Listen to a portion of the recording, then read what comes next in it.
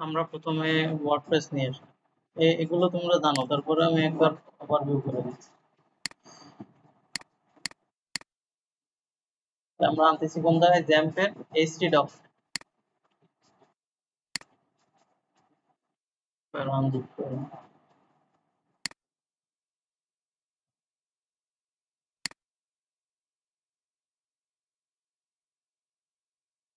আচ্ছা এটা হচ্ছে আমাদের প্রজেক্ট ফোল্ডার মানে আমরা যে প্রজেক্টটা করব সেটার ফোল্ডার এখন আমরা প্রজেক্টের নামে ফোল্ডার নেম করব। ফোল্ডার নেম করার কিছু নিয়ম আছে। সেটা হচ্ছে, বড়দের অক্ষর লেখা উচিত না।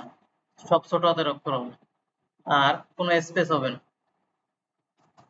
আমরা হাইফেন ব্যবহার করতে পারি অথবা আন্ডারস্কোর ব্যবহার করতে তাহলে আমরা এটা করতেছি করতেছি কোনটা? First project Phoenix Global Phoenix Global এবার আন্ডারস্কোর ইনভেস্টমেন্ট দিতে পারি বা জাস্ট ওই আমার ফনিক্স গ্লোবাল রাখতে আচ্ছা ফনিক্স গ্লোবাল রাখলাম। এখন আমাদের থিম আনতে থিম করে আগে ইনস্টল করি। তাহলে আমরা যখন ব্রাউজারে যাব ব্রাউজারে আমাদের পিএইচপি মাই অ্যাডমিনে হচ্ছে ডেটাবেস লোড আর অন্য যা আছে সেগুলো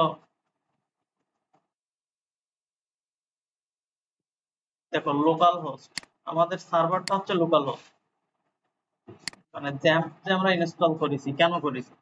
এটা আমরা হোস্টিং হিসেবে ব্যবহার করব। আমাদের পিসিটারে হোস্টিং বানাই ফেললাম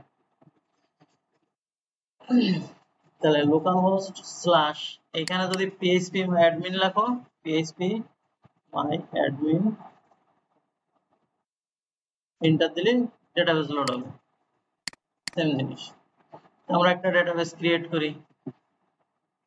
দেখো, এখানে প্রথম আছে ডেটাবেসেস এখানে নাম দিলাম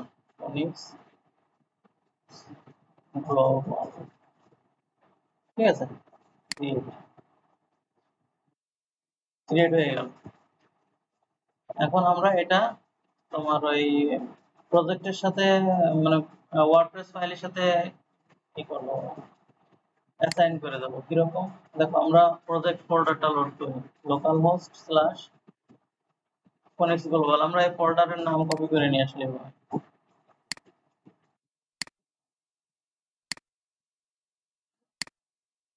হাতে লিখে দিলে হয়।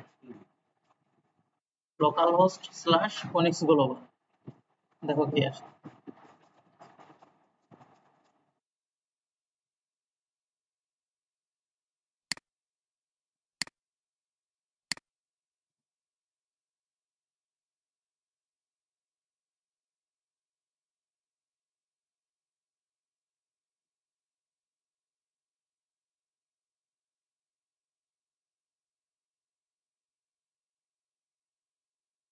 এত টাইম নেওয়ার কথা না। যাই হোক ল্যাঙ্গুয়েজ আমরা চেঞ্জ করব না, যা আছে থাকবে। তাহলে এরকম আসার পরে কন্টিনিউ দেখো এবার কি বলতেছে, এই database name user name password host table prefix এখানে যাই আসুক, আমরা লেটস গো দেব। এখানে ডেটাবেস নেম আমরা এখানে যে নেম দিছিলাম ফোনিক্স গ্লোবাল এটা হবে এখানে।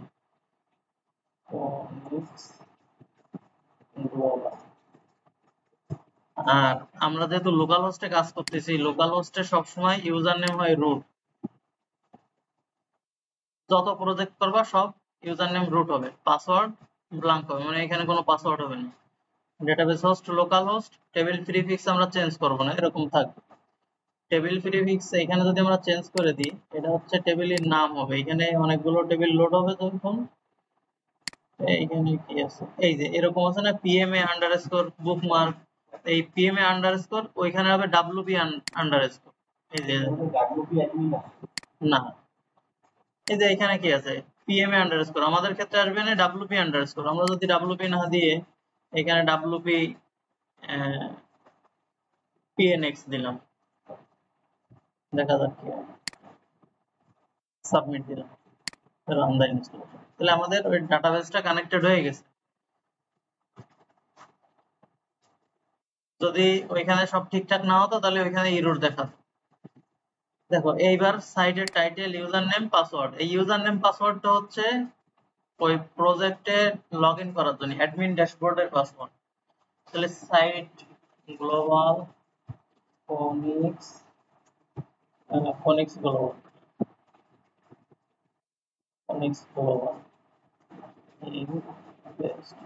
দেখো, এটা হচ্ছে সাইট টাইটেল মানে এই তোমার টপে যেটা শো করবে সেটা। তো এইখানে আমরা ছোট বড় অক্ষর স্পেস যা ইচ্ছা ব্যবহার করতে পারব। ইউজার নেম অ্যাডমিন দিলাম। এইখানে যা আছে এরকমই যে ব্যবহার করতে হবে, তার কোনো প্রয়োজন নেই। যা ইচ্ছা তাই ব্যবহার করতে হবে এই তুমি এখানে অ্যাডমিন দিয়ে দিলেও হবে, কিন্তু অ্যাডমিন যেহেতু উইক পাসওয়ার্ড এটা নেবে না। যা আছে আমরা admin local one two three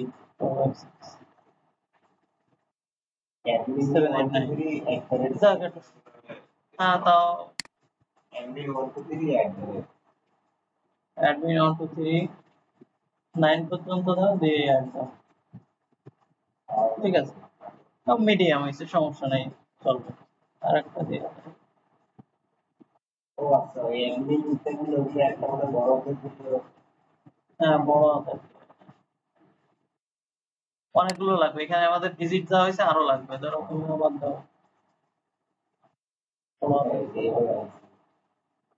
তাহলে আমরা ওয়ান টু থ্রি এই নাইন পর্যন্ত দিলাম, তারপরে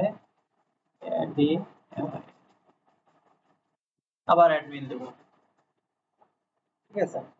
তাহলে এ বড় হাতের admin one two three four five six seven eight nine add আবার অ্যাড ঠিক আছে? এই কমন একটা কিছু ব্যবহার করো প্রত্যেক প্রজেক্টের ক্ষেত্রে যাতে সহজে মনে রাখা যায়। মনে রাখার দরকার হবে না ব্রাউজারে সেভ করে রাখা যায়। এবার এখানে একটা ইমেল আইডি দিতে হবে। যা ইচ্ছা এটা দিলে দিয়ে।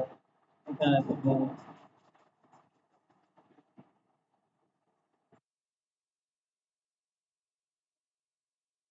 দিলাম। ইনস্টল ওয়ার্ডপ্রেস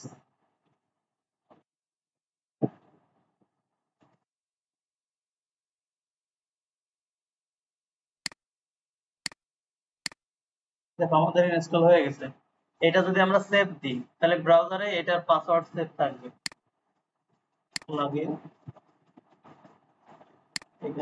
যাবে।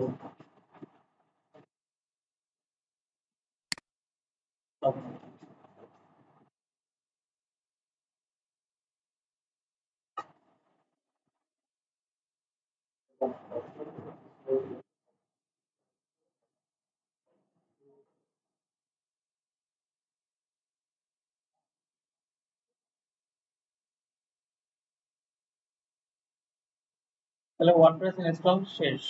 ইনস্টল কমপ্লিট হয়ে গেল এটা ডিসমিস দিয়ে দিলাম। এখন আমাদের কাজ হচ্ছে থিম সেট করতে হবে প্লাগইন সেট করতে হবে। তাহলে আমরা অ্যাপিয়ারেন্সে যাই। অ্যাপিয়ারেন্সের ভিতরে থিম থাকে। এখন দেখো তিনটা থিম আছে। আমরা একটা রাখব, বাকি দুটো ডিলিট করে দেবো। এখন থিম ফোল্ডার থিম ফোল্ডারে যেতে হবে। তাহলে আমাদের দেখো এইচটি ডক্সে যাই। এইচটি ডক্স এর ভিতরে এই যে আমাদের প্রজেক্টটা এই যে ফোনিক্স গ্লোবাল এখানে ডাব্লিউপি কন্টেন্ট থিমস এখানে থিম আছে। তাহলে আমরা 2024 রেখে বাকি দুটো ডিলিট করলাম। এবার এখানে রিলোড দিয়ে। দেখো, এখানে এখন একটা থিম আছে। আমরা এখানে আবাদা থিম ইনস্টল করব। তাহলে আবাদা থিমটা আমরা নিয়ে আসব।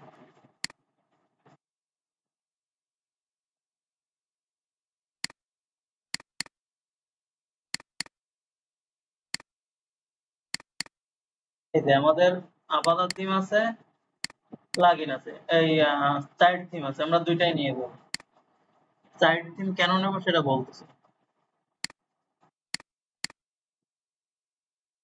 দেখো, এখানে জিপ ফোল্ডার যতক্ষণ আছে এটা কাজ করবে না মানে ওইখানে শো করবে না, আমরা আনজিপ করে দেব।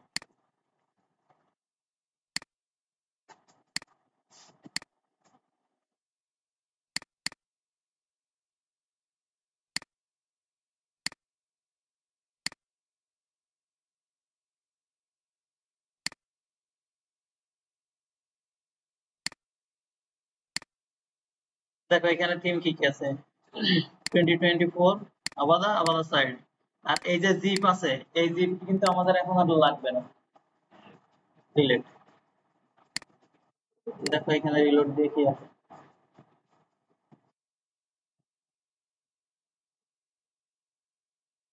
ঠিক আছে, আমরা আবাদা সাইটটা অ্যাক্টিভেট করি। এখন বিষয় হচ্ছে যে আমরা ফোল্ডারে যায় না যায় ইনস্টল করতে পারি কিনা, আমরা কিন্তু ফোল্ডারে না যায়ও থিম ইনস্টল করতে পারি। তো এইখান থেকে বল প্রসেস করতে টাইম লাগবে বেশি। আবার কোনো ইরর আসতে পারে যে টাইম আউট দিতে পারে। এজন্য আমরা ডাইরেক্টলি অর্ডারে রেখে দেব।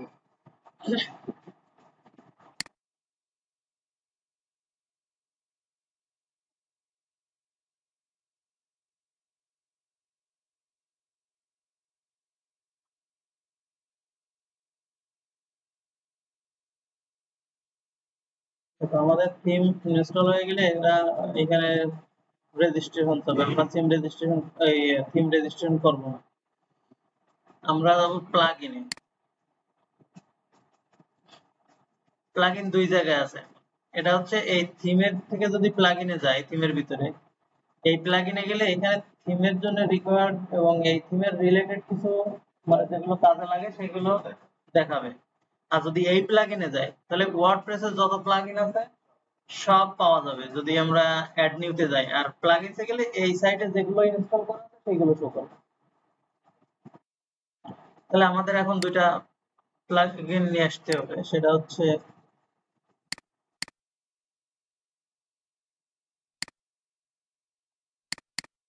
এই দুইটা প্লাগইন আমাদের ম্যান্ডেটরি এই দুইটা লাগবেই। আপাতত থিম দিয়ে কাজ করতে গেলে এই দুইটা দুইটা প্লাগইন মাস্ট আমরা? হ্যাঁ। এই প্লাগইন ছাড়া এই থিম কাজ আপাতত থিম কাজ করবে আমরা এখানে আনজিপ করে আনজিপ ফোল্ডারটা কাট করে নিয়ে গেলেই হচ্ছে।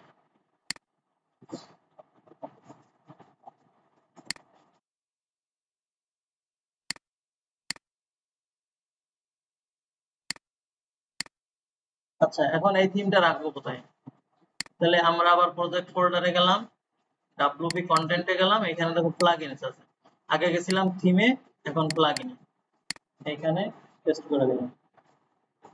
এখন দেখো এখানে যে হ্যালো আছে আর অ্যাকিসমেট আছে, এই দুইটা আমাদের লাগবে না। কিন্তু ইন্ডেক্স রিমুভ করা যাবে না হ্যালো এবং অ্যাকিসমেট এই দুইটা রিমুভ করে দেব ডিলিট দেখো এখানে থিমের কি কি প্লাগইন আছে? এই যে আবাদা কোর আবাদা বিল্ডার ওই যে এখানে ফিউশন কোর ফিউশন বিল্ডার নিছি না? আবাদা কোর আবাদা বিল্ডার এই একই প্লাগইন আর এখানে আবাদা কাস্টম ব্র্যান্ডিং স্লাইডার রিভলিউশন আরও অনেক আছে। এগুলো আমাদের আপাতত কাজে লাগবে না। যেহেতু লাগবে না, দরকার নেই। দেখো, আমরা এখন যদি রিলোড দিই, তাহলে এখান থেকে এই অ্যাক্টিভেটের অপশন আসবে। কারণ এই প্লাগইন দুটো অলরেডি লোকেশনে চলে আসে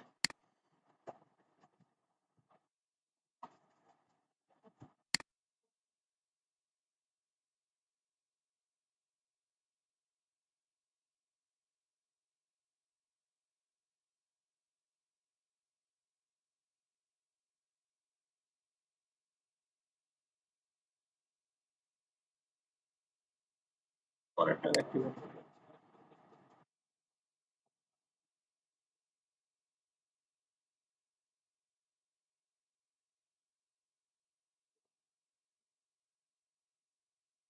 এখন বিষয় হচ্ছে এই যে প্রজেক্টটা আমরা করতেছি, এই প্রজেক্টটা কি মানে আউটলুক কেমন আছে বুঝব কি করে?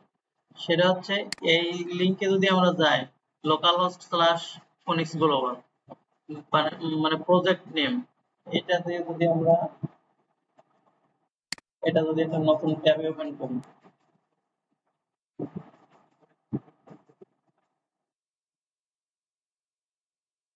দেখো, এটা তো আমরা এখান থেকে কপি করে নিয়ে আসি। আমরা কিন্তু এখান থেকে এই যে সাইটের নামের উপরে মাউস নিলে কন্ট্রোল প্রেস করা অবস্থায় ভিজিট সাইটে দিলে এটা নতুন ট্যাবে ওপেন হবে এই সাইটটা এরকম। সাইটটা কি আছে? এখন আপাতত এই আছে, আর কিছু নাই। যেহেতু আমরা তো এখনও কোনো কাজ করি নাই। তো এটা হচ্ছে লোগো এখন আমাদের মানে বেসিক কিছু কাজ আছে, যেগুলো করতেই হবে প্রত্যেকবার। সেটা কি? পেজেসে যেতে হবে। একটা হোম পেজ লাগবে, তাই না? ফোনিক্স গ্লোবাল সাইটে কেমন আছে?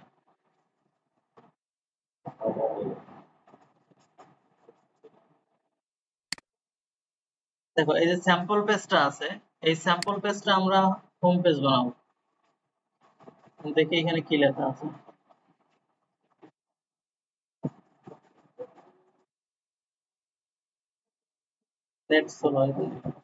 বানাচ্ছি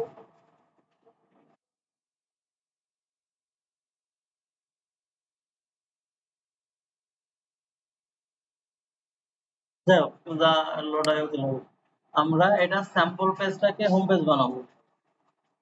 কুইক এডিটে এখানে হোম লিখে দিই। দেখো, এখানে টাইটেল আর স্লোগানটা কি?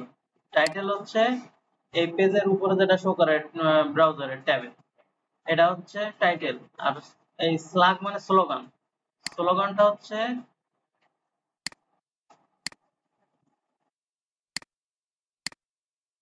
এইটা মানে মূল সাইটের পরের যেটুকু ব্রাউজারের অ্যাড্রেস বারে শো করে, এটা হচ্ছে স্লোগান তাহলে আমরা কুইক এডিটে টাইটেল আর স্লোগান চেঞ্জ করলাম। হ্যাঁ ছোট হাতের হবে। ছোট হাতের হবে হাইফেন হবে বা আন্ডারস্কোর দিতে পারো, কিন্তু স্পেস হবে। আর এই টেমপ্লেটটা আমরা এখানে চেঞ্জ করতেছি হান্ড্রেড পার্সেন্ট উইথ আপডেট না, আপাতত এখানে আর কোনো কাজ নেই। মানে এই যেটুকু কাজ করে আসলাম থিম ইনস্টল দিলাম প্লাগইন ইনস্টল দিলাম, তারপরে এসে পেজটা হোম পেজটা পেজ ক্রিয়েট করার মতো একটা আর কি স্যাম্পল পেজ সবসময় ডিফল্ট একটা থাকে, সেটা আমরা হোম পেজ বানাই দিলাম। এখন সেটিং এ যাব। সেটিং থেকে রিডিং রিডিং এ দেখো ইওর হোম পেজ ডিসপ্লে মানে তোমার হোম পেজটা কেমন শো করবে? এখানে আছে ইওর লেটেস্ট পোস্ট মানে তুমি যা লেটেস্ট পোস্ট পাবলিশ করবে, সেইগুলো এখানে শো করবে। তাই কিন্তু আমরা দেবো এস্থেটিক পেজ আর হোম পেজটা কি হবে? এই হোম মানে আমরা যে এটা রিনেম করে আসছি হ্যাঁ, ওইটা হবে। তার মানে ওই পেজে যা থাকবে ওয়েবসাইটের ল্যান্ডিং এ সেটা শো করবে। আর এখানে যা আছে আর কিছু দেখার দরকার নেই। সেভ চেঞ্জেস দিলাম তাহলে রিডিং সেট করা হয়ে গেল। এবার আমাদের সেট করতে হবে পার্মালিঙ্ক পার্মালিঙ্কটা কি? এইখানে ওই যে স্লোগান বললাম সেটা। কিন্তু সেটা কীভাবে শো করবে তাই? অ্যাড্রেস বারে কোন স্টাইলে শো করবে? সেটা হচ্ছে পার্মালিঙ্ক দেখো এখানে কেমন আছে। পার্মালিঙ্ক স্ট্রাকচার প্লেন প্লেন হলে কি আসবে? এই যে Phoenix Global slash P is equal one two three তার মানে এটা হচ্ছে পোস্ট মানে পেজ বা পোস্ট আইডি এরকম শো করতে পারে, আবার এরকম শো করতে পারে ডেট টেট দিয়ে। তারপরে এই যে ডেট মান্থ দিয়ে, তারপরে আর্কাইভ দিয়ে। স্যাম্পল পোস্ট দিয়ে তো আমরা রাখব কি, এইখানে দেখো ডিফল্ট কি আছে? index.php slash year slash month slash day slash post name আমরা এটা রাখব না, আমরা রাখব পোস্ট নেম আর যা আছে সেম সেভ চেঞ্জেস তাহলে আমাদের পারমালিঙ্ক সেট হয়ে গেল। আর পেজ একটা ডিফল্ট হোম পেজ বানাই দিলাম। এখন আমরা যদি এই পেজটা রিলোড করি। হ্যাঁ সেম সবাই সব জায়গায় করতে হবে। দেখো হোম পেজে যা ছিল এই ডিফল্ট টেক্সট ছিল কিছু সেইগুলো কিন্তু এই পেজে শো করতেছে এখন। এই যে ফোনিক্স মানে প্রজেক্ট লিংকে মেইন যে প্রজেক্ট লিংক এখন আমরা যদি এটা লাইভ সার্ভারে কাজ করতাম তাহলে ডোমেইন নেম শো করতো। কীরকম? এই যে Phoenix Global dot com dot এই এরকম শো করতো। হোম পেজটা তো আমরা এরকম করব। এরকম শো করব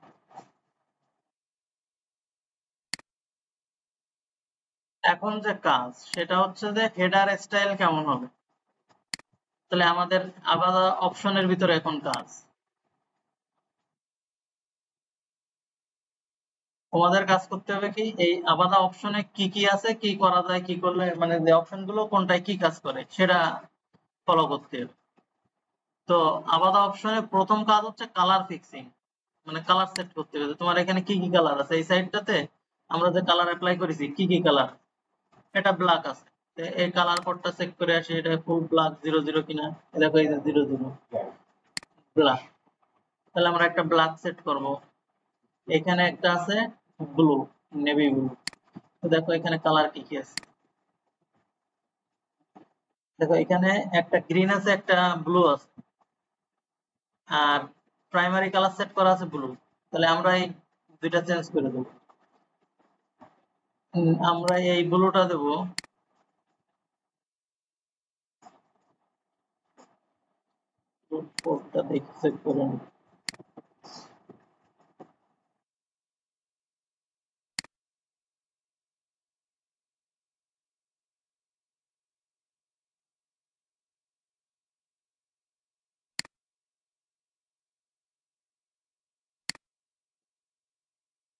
এই যে ব্লু কালার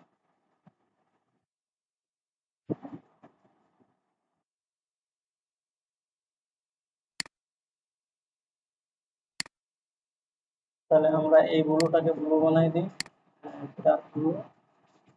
আর এই যে গ্রিনটা আছে এটাও আমরা ওই কালার করে দিই।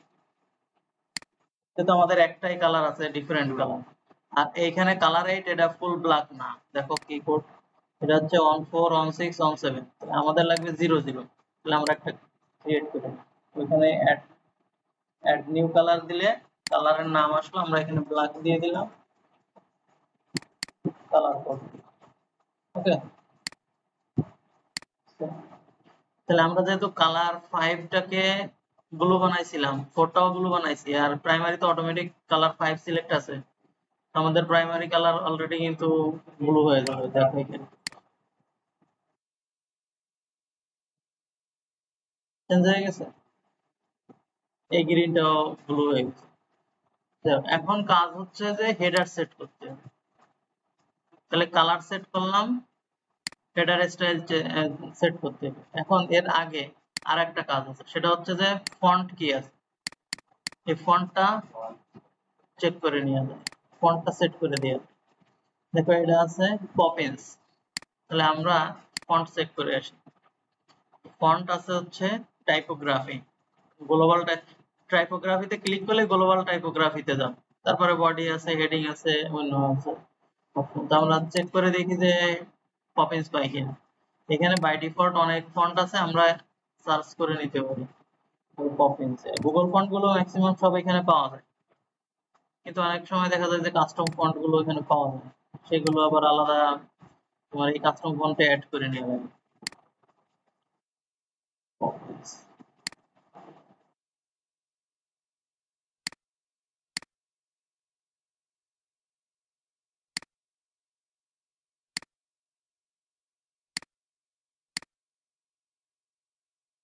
দেখো, আমরা এখানে বডিতে পপেন্স ফন্ট সিলেক্ট করে দিলাম। এখানে কিন্তু বডি আর একটা অপশন আছে।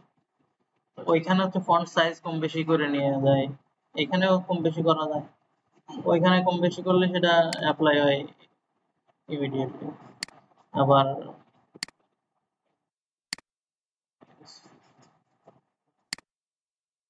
তো এইখানে চেঞ্জ না করে ফন্ট সাইজ যদি বডির ফন্ট চেঞ্জ করতে এইখানে চেঞ্জ করব।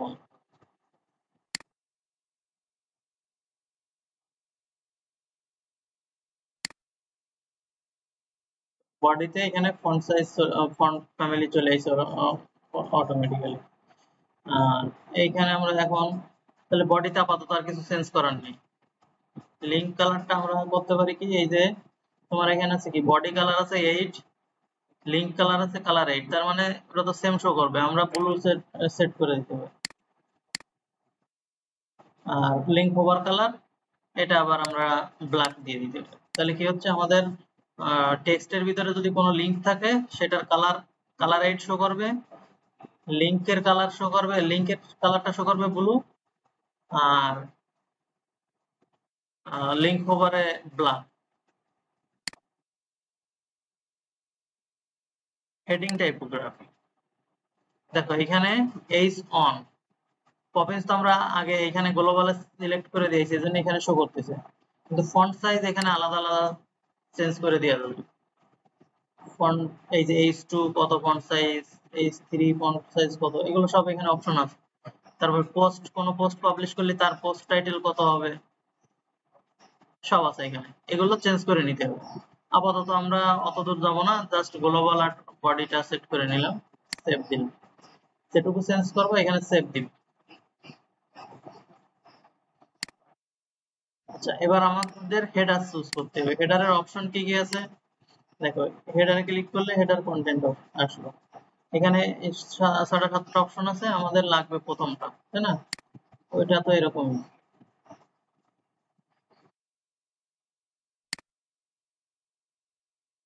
এখন তোমাদের কাজ হচ্ছে যে এখানে কি কি আছে? লেআউট রেসপন্সিভ বাদে। এই দুটা তোমাদের দরকার নেই। বাদে কালার আছে। তাহলে কালারে কি হচ্ছে আমরা কিছু কালার এখানে স্টোর করে রাখতে পারতেছি যেগুলো যে কোনো জায়গায় ফন্টের কালার বা কোনো কিছুর কালার ক্ষেত্রে কাজে লাগানো যাবে তারপরে আছে কি হেডার তাহলে হেডারে আমরা হেডার স্টাইল চুজ করতে পারতেছি এখানে কিছু অপশন থেকে। আর এইখানে আরও স্টাইল আছে। হেডার স্টাইলের ভিতরে যদি যাই, দেখো এখানে কি আছে? হেডার প্যাডিং হেডার শ্যাডো তারপরে এই যে হেডার ব্যাকগ্রাউন্ড কালার তাহলে আমরা যদি ব্যাকগ্রাউন্ড কালার ব্লু দিই এখানে কিন্তু সেই অপশন চলে এসেছে। এইটা হচ্ছে গ্লোবাল কালার আমরা যা ওই, এই কালারে সেট করে এসেছি যা এখানে, এগুলো সব পাওয়া যাবে এখানে। তাহলে আমরা এখানে ক্লিক করলে আসবে না। এখানে নিজের মতো কালার সেট করতে হ্যাঁ কাস্টম করা যাবে। আর এখানে দিলে গ্লোবাল কালারগুলো পাওয়া যাবে। জাস্ট ওই কালারে ক্লিক করলে সেই কালার এখানে চলে আসবে গেল। এবার আছে স্টিকি হেডার স্টিকি কি? স্টিকি হচ্ছে যে স্ক্রল করলে এই যে এখানে থাকতেছে, এটাকে বলে হচ্ছে স্টিকি আর কি দেখো? এই যে তোমার স্টিকি ট্যাবলেট মোবাইল আমরা এই দুটো অফ থাকে অফই থাকবে চেঞ্জ করব কারণ মোবাইলে আর সে ট্যাবলেটে স্টিকি থাকলে এই স্ক্রিন এমনি ছোট তারপরে আবার যদি ওইখানে এখানে একটা নিয়ে। নেয় স্টিকি হেডার অ্যানিমেশন অ্যানিমেশনটা কি? এখানে দেখো। এটা একটু বড় আছে। যখন আমাদের ছোট এই করতেছি স্টিকি যখন এনেবল হচ্ছে তখন একটু ছোট। হচ্ছে এই, এটা হচ্ছে অ্যানিমেশন তারপরে আছে sticky header shadow sticky header background colour menu font colour sticky header menu item padding sticky header navigation font size তাহলে স্টিকি হেডারে যা যা আছে, এগুলো সব স্টাইল কিন্তু এখানে পাওয়া যায়। এখানে কি আছে? কালার আছে background colour font size font colour সবই আছে।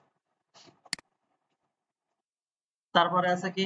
মেনু মেনুর যত স্টাইল যা করা যায়, সব এখানে পাওয়া যায়। মোবাইল মেনু মোবাইলের জন্য মেইন মেনুটা মেইন মেনুর জন্য এখানে সব ফ্লাইআউট মেনু হচ্ছে ফ্লাইআউট মেনু হচ্ছে দেখো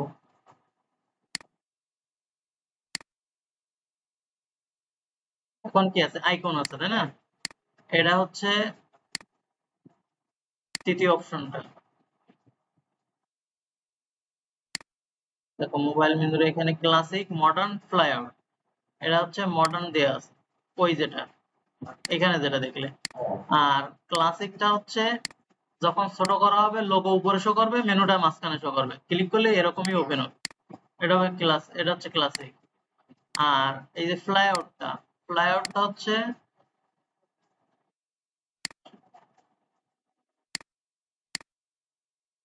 ফ্লাইআউট হচ্ছে আইকনে ক্লিক করলে ফুল স্ক্রিনটা ব্লক করে দেবে আর একটা ক্লোজ আইকন থাকবে আর এই মেনু আইটেমগুলো এখানে শো মানে এই লোগোটুকু হাইড হয়ে যাবে। বা লোগো থাকলেও হ্যাঁ আইকন একটা ক্লোজ থাকবে আর এই মেনুটা ফুল স্ক্রিন জুড়ে থাকবে। এগুলো পরে আসতেছি আমরা। মডার্ন রাখব আমরা। তাহলে মেইন মেনু মোবাইল মেনুতে পরে যাও। আগে মেইন মেনুটা এখানে দেখবা যে কি কি আছে, কি করা যায়।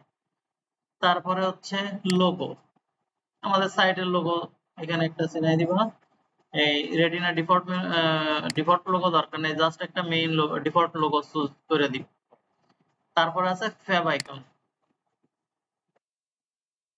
ফ্যাব আইকনটা তো জানোই কি?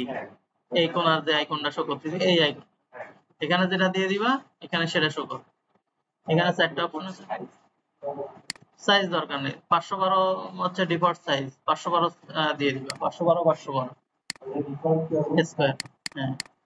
পাঁচশো বারো পাঁচশো বারো দিয়ে এখানে আপলোড দিবা। এরা অটোমেটিক অটোমেটিক রিসাইজ করে নেবে। হ্যাঁ ওটা আলাদা। এটার লোগো সাইজ তুমি ওই ফটোশপে এডিট করে বসাই দিবা।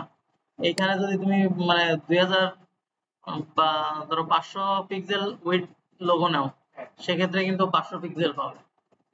আলাদা কাস্টম সাইজ দিয়ে ছোট করা যায়। তা সবচেয়ে ভালো হচ্ছে যে তোমার যে সাইজ লাগবে সেই সাইজ বানায় নিয়ে আসা। তাহলে তুমি সিএসএস দিয়ে ছোট করে দিবা। গেল। এবার আছে page title bar page title bar কি জিনিস? এটা তো করেছিলেন। যে হেডারের নিচে যেটা পেজ বাম পাশে পেজের নাম শো করতেছে, ডান পাশে স্ল্যাশ দিয়ে ব্রেড নাম শো করতেছে। হ্যাঁ? আচ্ছা।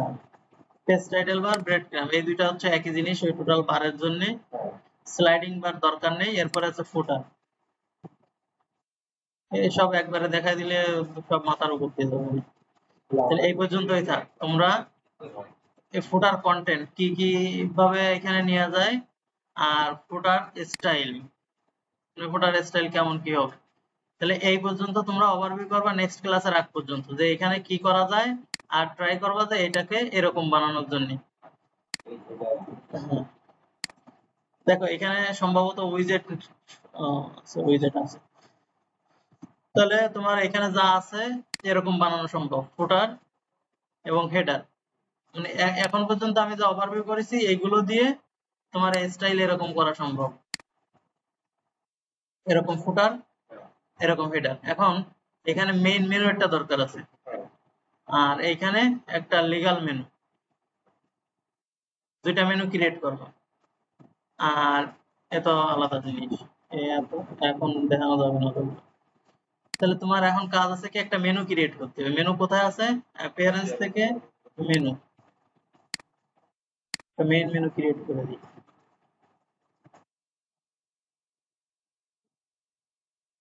দেখো, এইখানে আমাদের কি আছে?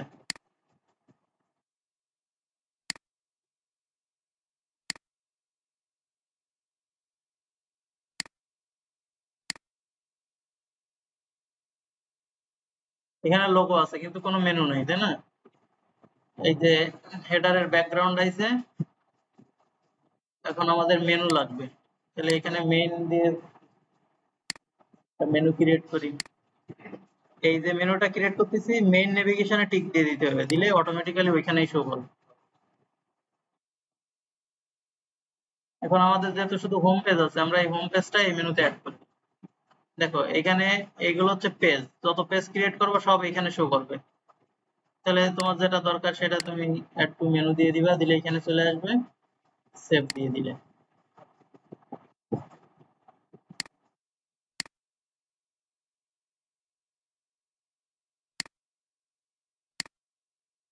তা এখানে সমস্যা হচ্ছে যে কালার সেম হয়ে গেছে, বুঝছ? যে মেনুর যে কালার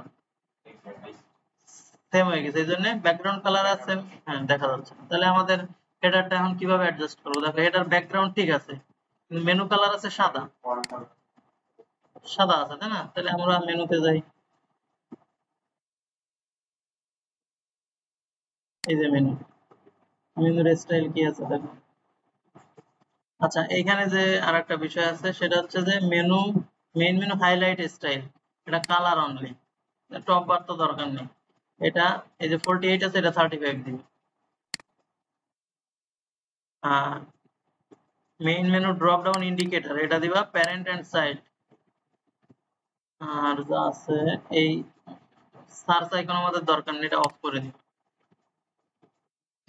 দেখো, এখানে হচ্ছে যে colour main menu drop down background colour মানে ড্রপ ডাউনে যেটা শো করে। আর মেনু টাইপোগ্রাফি এটা হচ্ছে মেনুর কালার তাহলে আমরা এটা সাদা দিয়ে দিলাম। আর মেইন মেনু ফন্ট হোভার বা অ্যাক্টিভ কালার ব্লু আছে। তাহলে এখানে কি আছে? এটা সাদাই আছে। তাই না? তাহলে আমরা সাদা দিয়ে দিই।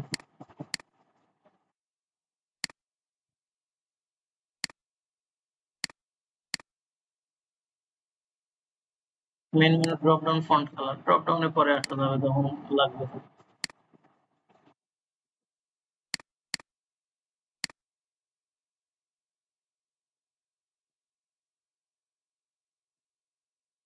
হয়েছে? এখন মেনু আইটেমগুলো অ্যাড করে দিলে এখানে শো করবে। লোগো আপডেট দিয়ে দিবা।